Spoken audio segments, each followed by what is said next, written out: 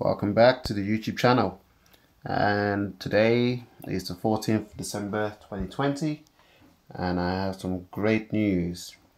My uh, African land snails the ones I believe is called Achatina Achatina have for the first time laid eggs. Um, so just before I show you the eggs underneath the uh, container. I'm just gonna put some vegetables. It's, uh, strips of carrots cabbage lettuce. Normally you can get these um, the stir fried ones. So there you go. I'm going to add some water to this.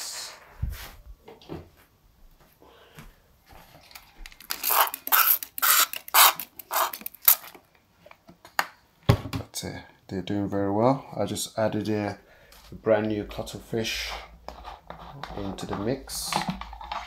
They've already started eating the cucumber, which is good. So they're well looked after. Very important to keep them hydrated. And you don't have to constantly look at them every every day. You can leave them for one week, come back, and they're still still doing their thing.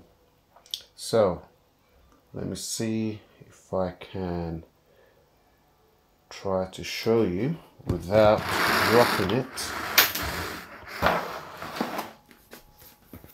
under the table. You see that guys? There probably is about 200 eggs in that cluster under the base. So I will be collecting them eventually. And I will be putting them in uh, in its own container. Now the good thing about this, the good thing about this uh, baby eggs ones are that the shells are very beautiful. Um, and I'm very excited.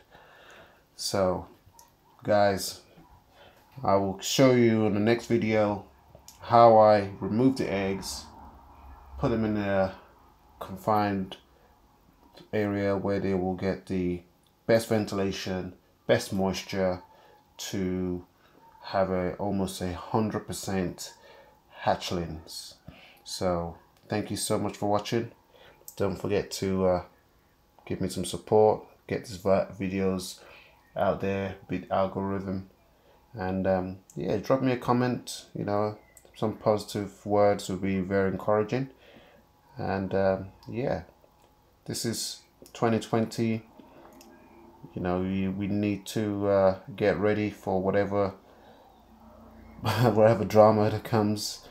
Um, so yeah thank you so much and uh, food security guys